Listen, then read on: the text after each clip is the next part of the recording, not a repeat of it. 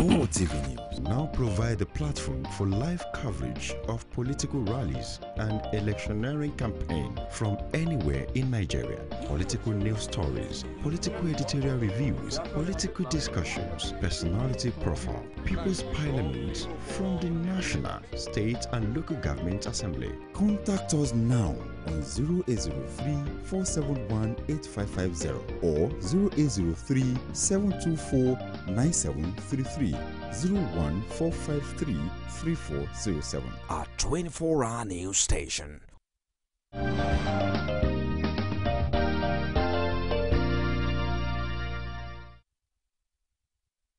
Good afternoon, wherever you are watching Core TV News, and this is Core Digest. News is printing what somebody else doesn't want printed, and all else is advertising. So says the wise man.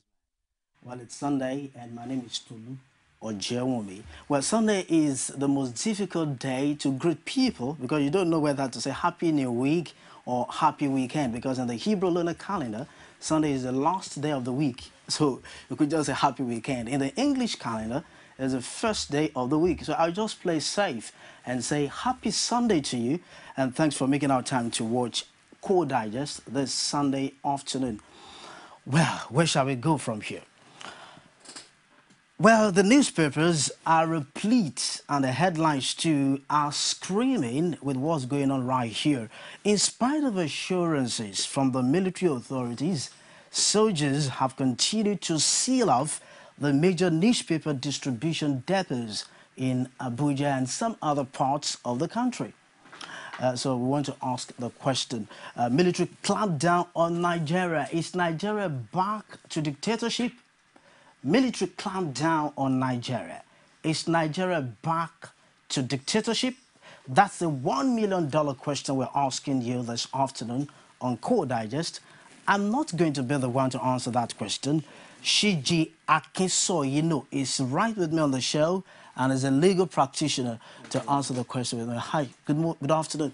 Good afternoon. Happy Sunday to you. Same to you as well. I must say a big thank you to you for making our time to uh, be part of the show today, despite your busy schedule. If you went on this show now, what would you have been doing now?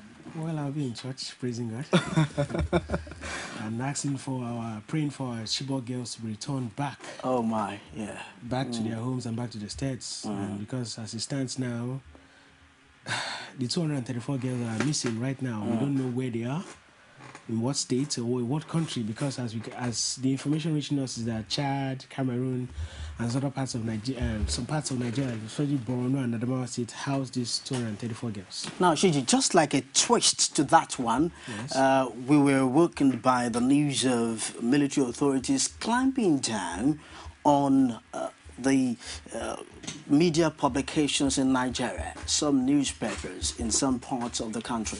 Now, George Orwell says journalism is printing what someone else doesn't want printed, and every other thing is just public relations.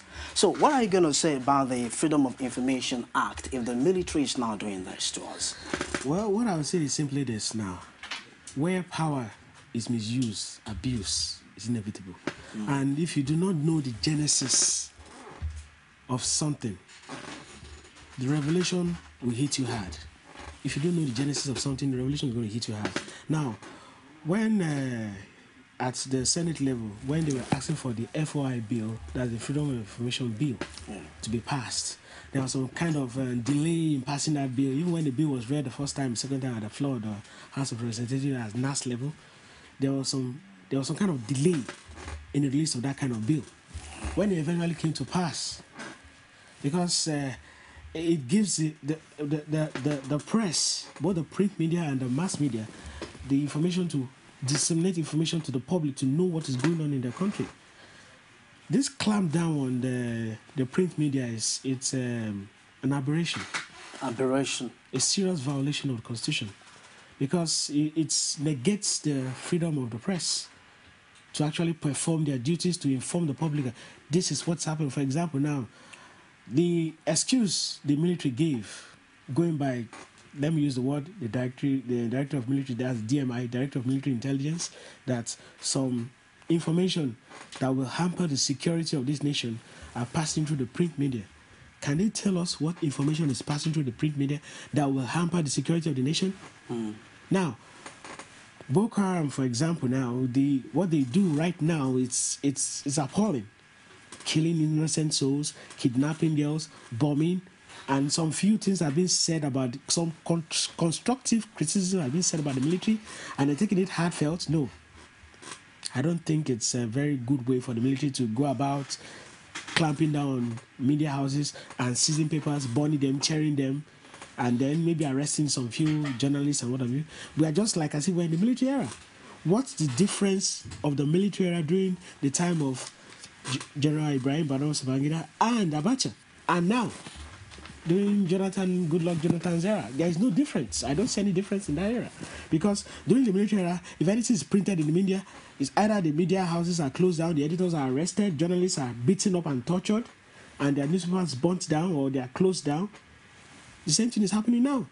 So can we say that we're actually actually practicing democracy? We're not practicing democracy. I don't think so. Okay, in- respect. Now, in that case, the federal government has continued its clampdown on the media by stopping circulation of newspapers in some parts of the country. And now you're saying that you do not strongly believe that we're practicing democracy. So let me put it to you then. Are we back in the military era? We can call it military democracy. Military democracy. Let's just call it military democracy. that's um, a military in democracy uniform, just trying to like uh, wove in sheep clothing. Yes, that's what I call it. Because if you ask me, I say, okay, let's let's just give the military a, a, a fair chance. Let's give them a yellow card, not just give them a red card outrightly. What's the reason for their clamping down on media houses and going against the media?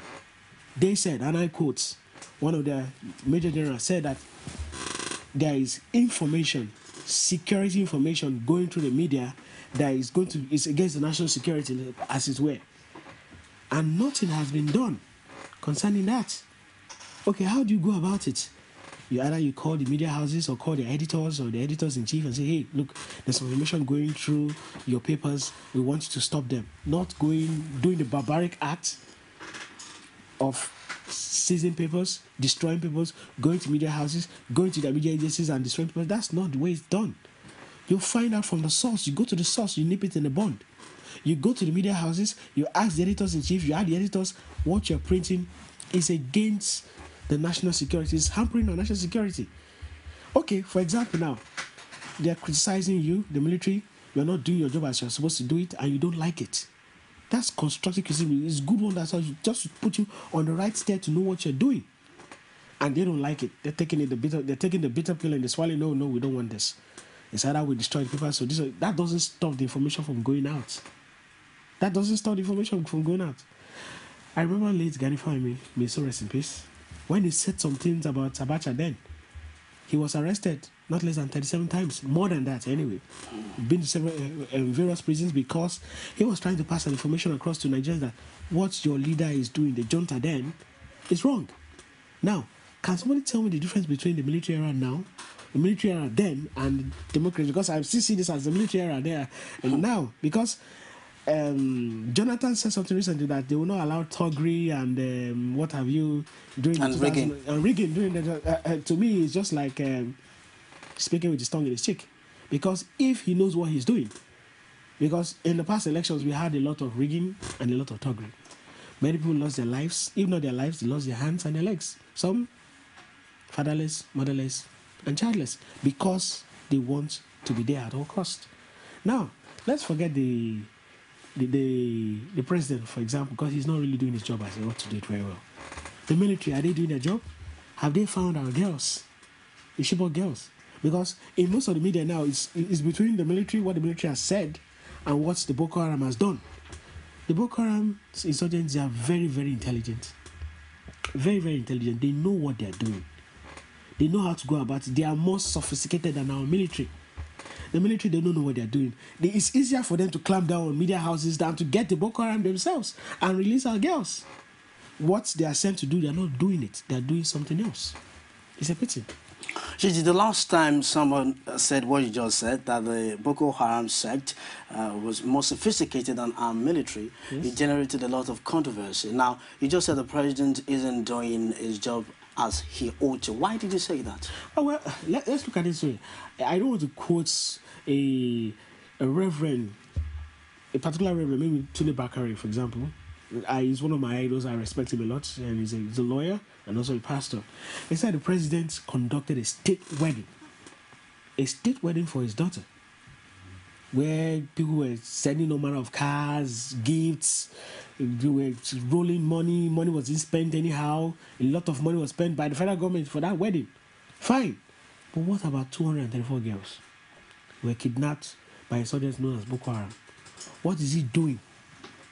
to to to to, to endeavor that they are released. Can he not just suspend? As as we speak right now, I can tell you right now, authoritatively, that our dear president and his cronies are busy going about doing rally.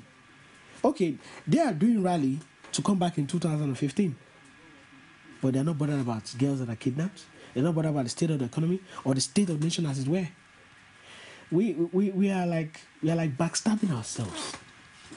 Because in 2015, we don't know what's going to come up. Because if this set of people don't come in, who knows? They are busy trading blame, saying it's the APC or the PDP or whoever it is that is behind the Boko Haram, but we don't know who is behind the Boko Haram and why all these things are happening. A lot of blood has been shed in this country. The president ought to do the right thing, take the right step, take the bulls by the horns, ensure that the security of this level is lifted up. As in, the money we spent on security, the budget allocated to security. I don't see any. It's, it's a far cry from what we have in the country. Because if we spend so much money on security, how come Boko Haram is being is taking us for a ride? Because according to what I heard, we don't know who is funding Boko Haram. We don't know from where and for what. Okay, fine, that has happened. Now instead of facing Boko Haram, you're clamping down on media houses. What's that? Does that give Nigeria a good image? and we are talking about bill on one side and freedom of the press, and you are already seizing, clamping down on media houses and print media, that doesn't make sense. That's an aberration. That's, um, how will I call it, blowing hot and cold. Now, talking about aberration and blowing hot and cold, you are a legal practitioner, yes. and I'm happy you're familiar with this terrain. The 1999 Constitution, as amended in 2011, uh, has got a chapter that's so all-inclusive. Chapter 2 talks about the fundamental uh, principles and the directive objectives of the state policy. Yes. Right, uh, that's so interesting. You cannot exhaust that chapter. Now, Section 22 of that 1999 Constitution, as amended in 2011, talks about the objectives of the mass media. It says the press, radio, television, and other agents and agencies of the mass media shall at all time be free to uphold the fundamental objectives of this chapter, the chapter 2, right, and uphold the accountability and responsibility of the government to the people. And in doing that, all we say is clamp down on their activity. How can, how can the media, the mass media, wriggle out of this? That is why I'm, that's why I keep saying this. I keep saying it. On, are we actually practicing what they call democracy? Are, are what is inside the letter of the constitution being followed, hook, line, and sinker, signed, sealed, and delivered? Are they being followed? No, I don't think so. I don't think so. That's why I said that we still have some elements of the military in this our our our government. We still have some element of military. Is this our government? It's just was it not some few days ago that the uh, Lagos State government increased the school fees of the last two students, and they went on rampage, and some of them were arrested due for some other reasons. Anyway, they were hijacking buses. But this one in the constitution is more like a paper tiger. Please excuse me to say that it's a paper tiger because one, you write something in the constitution and you're not following what is inside the constitution.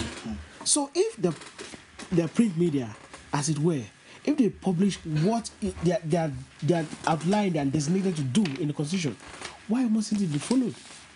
They are upholding what they have to do in the constitution. They are passing information for the for the government to see and follow, but they are not following such. They are not they are not following such. Because if they are following such, why is this happening?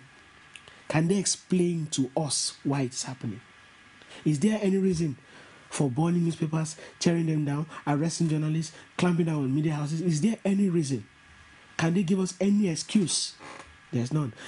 Whatever is in the constitution should just be set aside because in the military era, when they come in, the first thing they do is they set up a decree or an edict and they set aside the constitution. Mm. Here, they didn't set aside his constitution. The constitution is there, but it's just, it's powerless, it's useless. Because the chapter one, section one says, We, the people of Nigeria. Where is the we? Who are the we? Please remove that we and put PDP.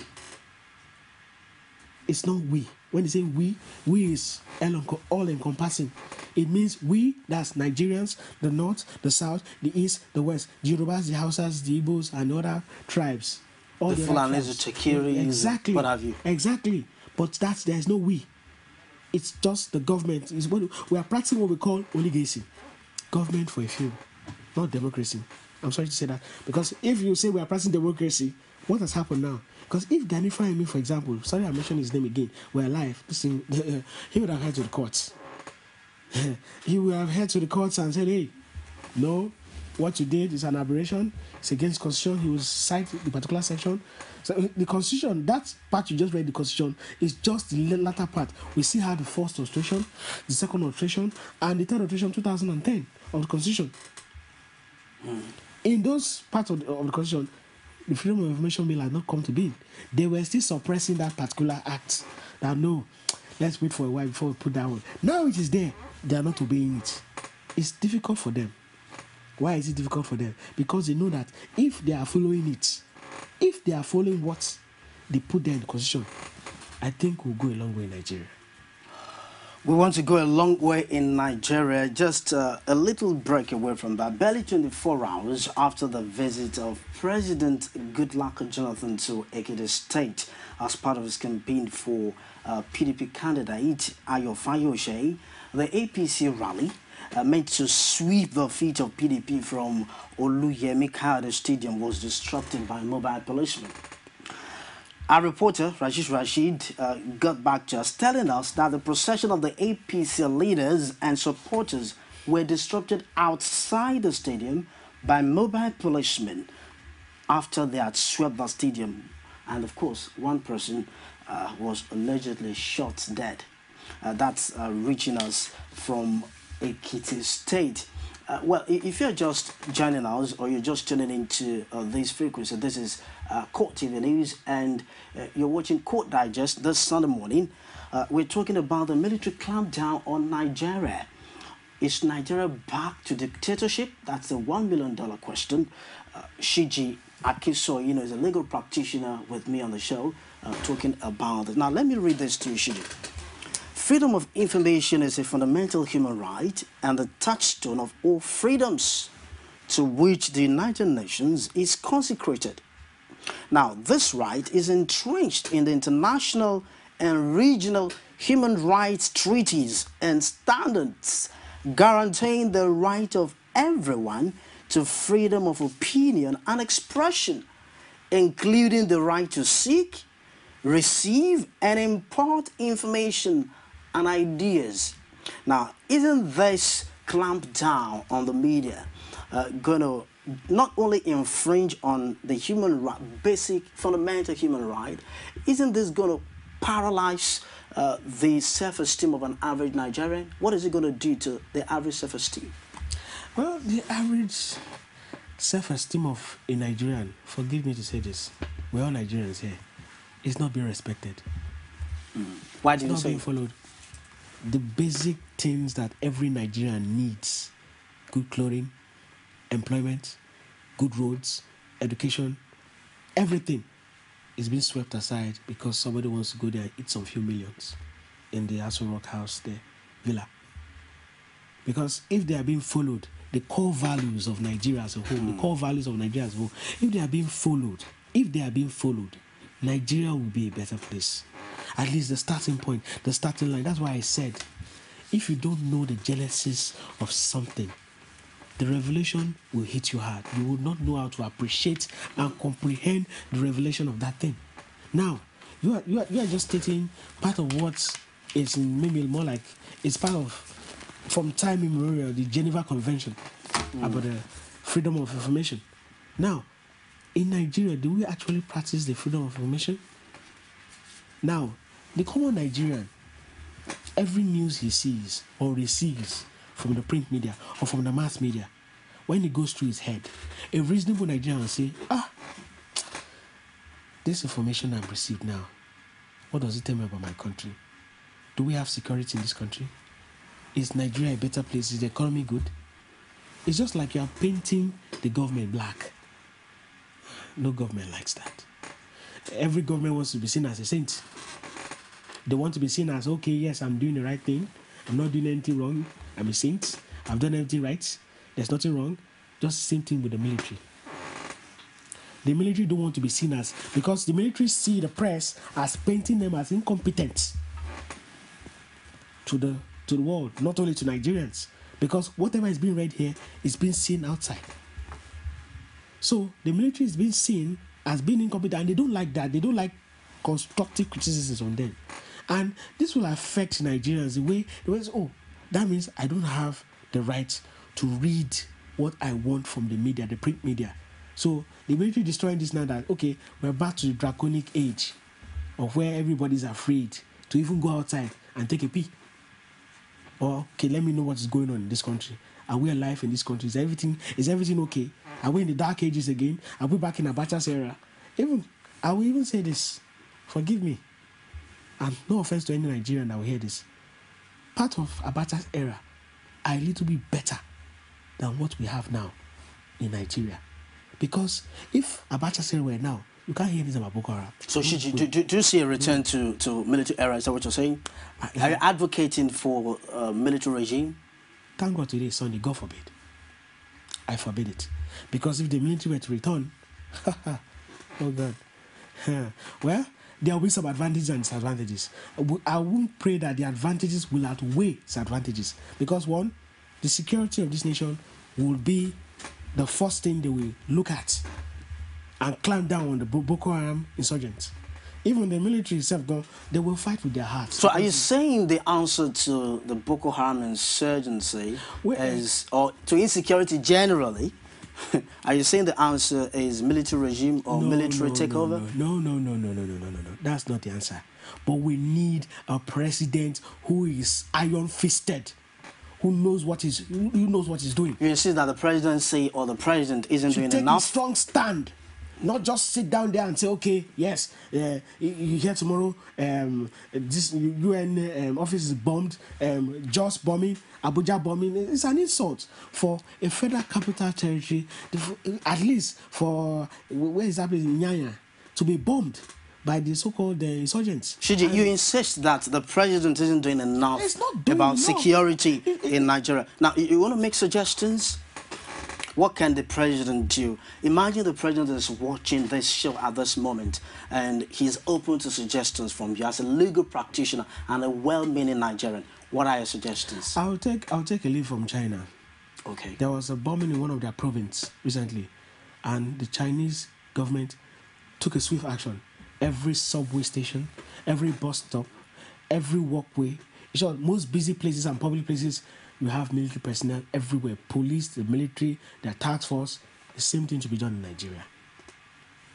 If that kind of thing should have happened the first time it happened, let's not say because there are sequel of things that happened since 2011, starting from August when the Boko Haram started making their actions felt every public place, every bus stop, every area that you know that people will gather more than 20, have military personnel there. Not only military personnel, the police should walk around 24 7 on the beat. You should have the civil defense walking around. If, if possible, create another. Nigeria is good about that thing, creating committees. Create a different committee for security and defense of our nation. It's a separate committee where the police, the civil defense, the military, in short, all para security agencies across the federation, they're working 247. So at least when they are seen all over the place, not clamping down on media houses and destroying and destroying print media. No. You do that, you walk around, you, you stop and search. That's what they were doing in China. You stop and search individuals you suspect to be like, okay, you see an individual, let me see your phone, let me see your car, let me see your boots. Don't collect any bribe. Don't collect anything. Do that 24 7. At least if the Boko Haram are seeing that, they'll be afraid to move. But once you're not doing that, you, you are busy clamping down on, media houses. You, you are, you are busy stopping people that you're not even supposed to stop. You're not even doing what you're supposed to do. The Boko Haram will have a free day. Now, the leaf you're borrowing from China, how does that look like state of emergency? Do, does it look like No, state no, of emergency in the whole country? It doesn't state, say, you- you- state of emergency entails where the, the, the democratic head or whoever is the head there will be put aside for the time being. Then a military junta, as it were, let me use that language, will now come on air and be administrator, let me use that language, sorry, Yeah. will now come on air and be controlling the things in that state. Yes, we, we both uh, she, she, she, we both understand that. We both understand that. But what I'm saying is, doesn't that appear like the look-alike, No, no, look-alike, no. No, just a look-alike no, no, of a state of emergency? No, no, no, no. There, there is it's not a look-alike because in, um in in that kind of state where you have um, um, a, a state of emergency, there's what they call a curfew. There's no movement. Yeah. In China, there was movement, but there are stop and search checks. How do you see that working in Nigeria? Well, in China, you have well-trained pe- uh, security personnel. They must have been briefed and debriefed of how to handle situations like that. We don't have that in Nigeria. Forget that. Okay, it's an insult because our security authorities are not doing well. That when the girls were kidnapped, you have to start inviting outsiders. We are not competent enough. The military, the security agencies are not competent enough to handle the situation that is being created by Boko Haram and what have you that that you are inviting other people to, to, to come and look after our problems, to come and babysit our security operatives, as it were. That's bad. Now, there's an area we're not looking at yet. Most newspaper outfits in Nigeria have social media platforms. Yes. right? Now, even if uh, the there's a clampdown on the hard copy, what about the soft copies on these social media platforms? Would how would the, the military be able to clamp down that one? They can't. In short, what they've just done is just a chip of the iceberg. They just took the, the print media, what the, the, the public can see. They've forgotten that the world is a global village. And Nigeria is also in that trend too. You see, most of the, the happenings of this of this nation, for example, like um, the Aluu 4 killings and some of the killings and most of the things that are happening, the Boko Haram are even using the social media, Twitter, Facebook, Instagram, BlackBerry messaging, and that messaging uh, to, to to go about disseminating the information for people. So that that doesn't stop information from spreading from place to place because half of the population of Nigeria, as it were, we we are more than 160 million Nigerians. We have not less than 50 million Nigerians who use the social media to get their information. They use Facebook, they use Twitter, they use other handles, WeChat, and what have you, to get their information. So that doesn't stop information from spreading. And it doesn't stop. Let me give you a, a close example now. US have a hard time now. Look at Snowden. How he just got the intelligence information about the US, their NSA information, and put it for the whole world to see. And that, that created a big security threat or security alert for United States. Now Snowden is the most wanted man now, or on the top list of the most wanted man in the world now, for what he has done. But with what he has done so far right now, look at Nigeria. Imagine if Snowden were a Nigerian. Hmm. Picture that, and all the information he has about Boko Haram, he has about our head of states, he has about all the, and he puts them up there. Not that he didn't do that, he did. Apart from WikiLeaks and what have you, he did. He just packaged all the information and then put it for Nigerians to see. You know what that will be for Nigeria as a whole? That will be catastrophic. But I'm saying this here that on one side, the abuse of the military on the media houses, the print media, will stop here. It's hmm. not for this our discussion here. It's for the Senate to sit down and say, hey, call your house to order. What you have done is wrong. Mr. Presidency, please discuss with the Chief of Army Staff, as it were, what has been done. Let it stop. He must tender an apology. That's what I think he should do. Because as it now, you have betrayed the trust of the nation. By doing this now, Okay, now, as it were, you just mentioned earlier on about uh, APC being their rally being disrupted and PDP kind of you, you you you can't. What is good for the geese is good for the gander. You, you, you can't take one and leave one. You can't rob Peter and people. It's not possible. You can't do that.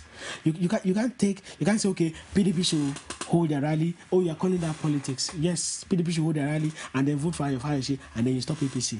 What's that? That's not that's not good politics. That's dirty politics. That what was practiced in Ekiti State, as it were, is called dirty politics. Allowing one party to have his way, and another party not have it, because the party that's having his way is in power. Power of incumbency. Wrong. Wrong approach, Mr. President. Wrong approach. Very wrong approach. Because uh, people are not fools. This will be recorded in history.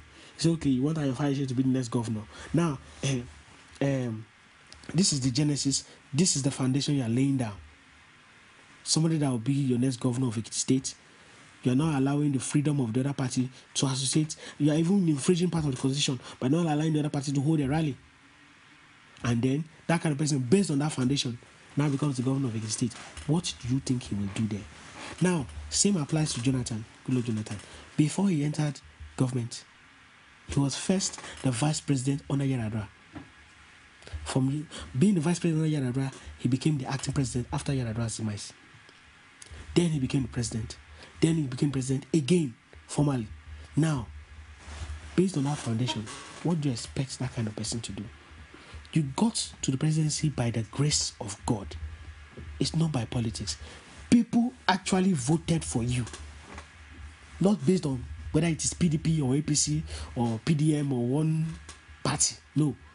People voted for you that, okay, I won't call it sympathy votes because they say that we want to see what you said you will do.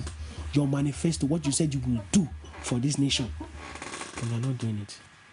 Because I imagine if Yar'Adua was still the president, I don't think this kind of thing about Boko Haram, all these infringements here and there, human rights being flouted with flawless disregard for the security of any human lives in this present era that we're in now. My God, we're in for a showcase. Because if you look at Nigeria now, we need to put our house in order. So the outside world can see us that we are serious. Look at Egypt, the new president. See what people said about him. Fine, he was a former military um, military personnel who later became this thing. What did he say when he was when he was campaigning? He said, "Look, my fellow Egyptians, especially he say he's speaking directly to the young. I should go go out there and vote for whoever you think you can vote for. It may not be me, it can be any other person. Just go out there and vote. Come out and vote. And they did. They voted for him. Look at what Jonathan said. That yes, he's coming out in full force in 2015. You are bothered about 2015. You're not bothered about security of this nation. You're not bothered about what Boko Haram is doing. The innocent lives that are being shed every day in the north and the northeast. You're not bothered. You're bothered about that seat you want to come back and sit down that's it. And talking about being bothered, well, uh, something that's getting everybody bothered in Nigeria at the moment is uh, what is causing a lot of concern to people in different parts of Nigeria. And Bid Okoro has something that I want you to see. Uh, the federal government's clampdown on the print media hasn't stopped. And this is making the federal government uh, close the, the uh, stop and close the circulation of newspapers in some parts of the country. And this has generated concern across board. Bid Okoro did something on it. Please watch this. Following the reported seizure of some newspapers by the military, newspaper sales and distribution has been affected in Oshogbo. Only a few vendor stands are open for business. There seems to be a growing fear of possible harassment by military personnel. Media affairs analyst Jamiu Olawumi and Adelani Badirinwa both criticized the clampdown, saying it is undemocratic. It's a total negation of what democracy is all about. Uh, because first and foremost, I think if there is an erring situation on the part of a newspaper, there are procedures, processes, the courts are there, you know, and so many other things that could have been done, not outright seizure of newspapers right on the streets. Take it beyond deprivation. Take it to the level of the expectation of modern army or military in a country that faces these security challenges that you could not scan to look for arms but send soldiers on the street to look for it in the newspapers. And you still call yourself giant of africa. You still claim to fund the military. Then what pattern of funding? What are the priorities when we fund? What is competition? Peer review between nigerian military and other military uh, organizations across the globe. The publisher of Oshun Defender, Kola Olabisi, condemned the act, saying it is a hindrance of the rights of Nigerians to have information. the precipice uncalled for. It's uncalled for when we are in a democracy. Even uh, during the uh, uh, period that uh, uh, the late uh, General Sani Abacha uh, was uh, calling that shot, uh, we experienced this, uh, the same thing when uh, uh, Ibrahim Babangida, President Ibrahim, Babangida, the, uh, the military president Ibra- Ibrahim Babangida, when he was calling that shot, the same thing was experienced. But now that uh, we say there is a democracy, I see no reason why people, some people who cannot have their uh, way, cannot be allowed to have their say. Olabisi advised the federal government to take a more cautious approach. On visiting some newspaper stands in Oshogbo, the newspaper vendors seem to be uneasy. Beat Okoro, Core TV News, Oshogbo. You're still watching Core TV news, and of course, the show is Core Digest this Sunday morning. Uh, Shiji Akisoyino is still very much with it. We'll take a break right now to fetch you the news on the hour. When we come back, uh, we'll take on Shiji on more issues. Please stay with us. Core TV News now provide a platform for live coverage of political rallies and electioneering campaign from anywhere in Nigeria. Political news stories, political editorial reviews, political discussions, personality profile, People's Parliament from the National, State and Local Government Assembly. Contact us now on 0803 471 8550 or 0803 724 9733 01453 3407. a 24 hour news station